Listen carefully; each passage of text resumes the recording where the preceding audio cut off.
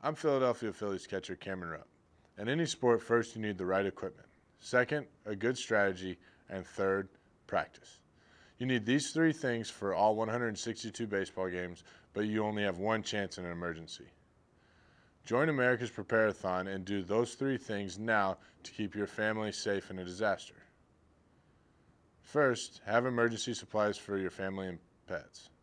Second, have a strategy or a plan so your family knows what to do and how to stay in contact. Third, practice until it's perfect.